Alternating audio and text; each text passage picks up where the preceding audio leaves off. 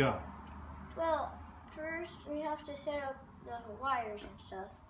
And then I have to put in the baking soda. And then pour in a gallon of water.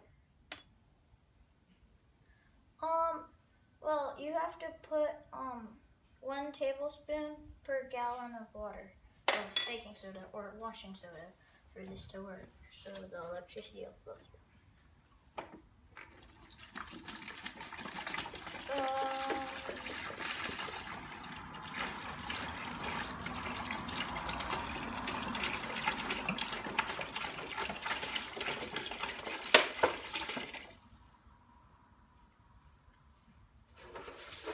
Ta-da!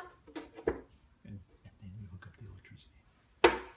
And then you hook up the electricity. Like I need. Where's the other wire? Oh, here it is. Okay.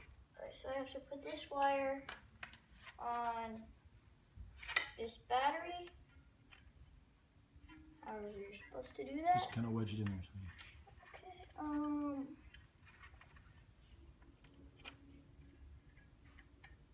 Yeah. And plug it in. All right.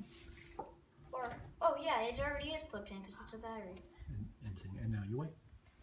And now wait overnight.